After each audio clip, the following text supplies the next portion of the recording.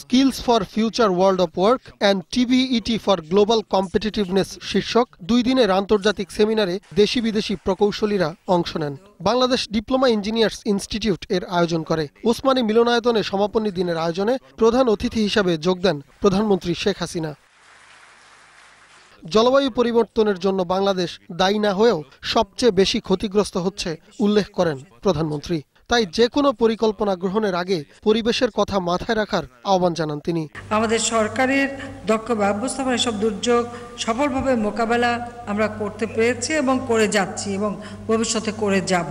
তবে প্রকৃতির খেলা বোঝা ভার, কিন্তু এই প্রকৃতির এই যে ধরনের সমস্যাই সৃষ্টি করুক না কেন মানুষ সচেতন থাকলে সে সমস্যাগুলি সমাধান করা যায়। কারিগরি শিক্ষা বিস্তারে বর্তমান সরকারের নেয়া বিভিন্ন পরিকল্পনার কথা তুলে ধরেন প্রধানমন্ত্রী। উন্নত বিশ্বের সঙ্গে তাল মিলিয়ে দেশের দক্ষ মানব সম্পদ তৈরির প্রত্যয় জানান তিনি। প্রতিটি উপজেলায় একটি করে স্কুল ও কলেজ আমরা স্থাপন করব।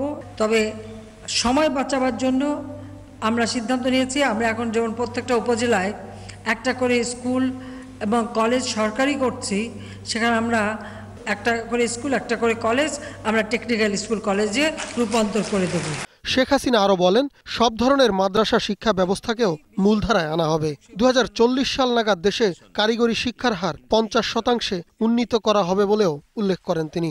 কারিগরি ও বৃত্তিমূলক শিক্ষায় দুইশো বিশ সালের মধ্যে আমরা শিক্ষার্থী শতকরা বিশ ভাগ দুশো সালের মধ্যে তিরিশ ভাগ দুশো সালের মধ্যে পঞ্চাশ ভাগে উন্নীত করব সেটাই আমাদের লক্ষ্য।